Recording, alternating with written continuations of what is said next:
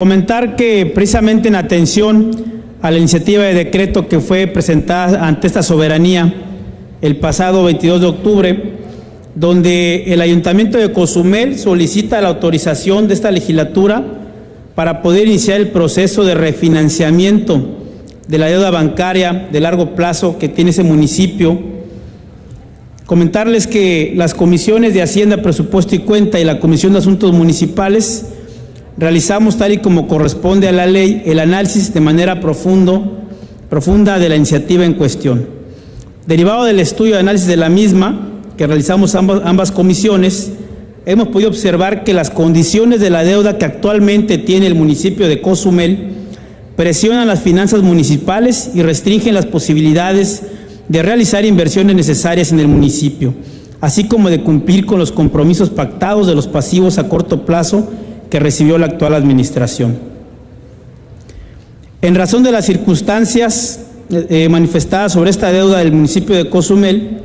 estas comisiones, Hacienda y Asuntos Municipales, consideramos que podrían existir mejores condiciones del mercado que faciliten el pago de la deuda a través de una reducción de las tasas de interés y que esto permita a su vez otorgar un mayor flujo de capital y que propicie mejores condiciones económicas para la actual administración municipal. En el mismo análisis, tuvimos en consideración que en el caso de interacciones con la cual el municipio de Cozumel ha contraído obligaciones crediticias, presenta tasas leoninas y poco convenientes para la administración de los recursos financieros, por lo que en estricto apego a lo dispuesto en la Ley de Disciplina Financiera de las entidades federativas y los municipios, consideramos que existe la posibilidad y el derecho de la actual administración de buscar mejores opciones de mercado, informando además, informándoles compañeros diputados que actualmente la tasa que se paga por, estos, por los créditos que actualmente tiene la administración son los siguientes. En el caso de, de interacciones, cuya deuda fue contratada el 24 de noviembre del año 2015, la deuda, la tasa actual de interés es de 5.56% de tasa sobre TIE, lo que hace que de esta deuda contratada en 2015, el saldo insoluto al 31 de agosto de este año es de 316 millones 211 mil 21 pesos. Esto es decir, que todo lo que se ha pagado del 2015 a la fecha únicamente se ha reducido en lo que se refiere a capital poco más de 500 mil pesos. Y en el caso de la deuda contratada con Banobras en el año 2011 por 124 millones, el saldo insoluto igual al 31 de agosto del 2018 es de 106 millones de pesos. Por lo cual consideramos que, derivado del análisis, el municipio de Cozumel cuenta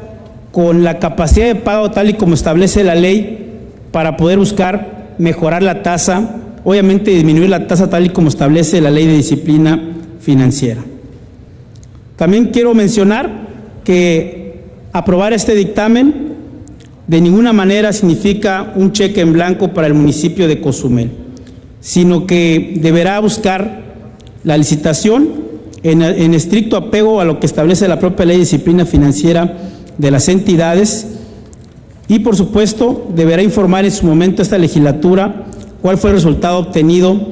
de esta búsqueda de mejores condiciones de mercado. Por lo cual, compañeros legisladores,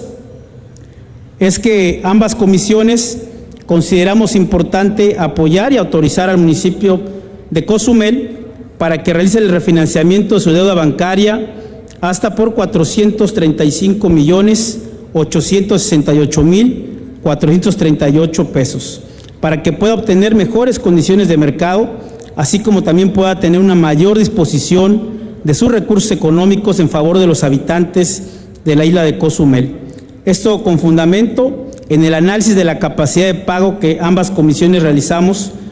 en base a lo que establece la ley de disciplina financiera.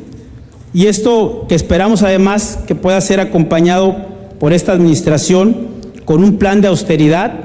y que el Cabildo pueda analizar de manera acertada en qué se va a poder aplicar los recursos que se podrá ahorrar la administración como producto de este refinanciamiento que hoy está sometido a consideración de los compañeros legisladores. Es cuanto, diputado presidente. Gracias, diputado.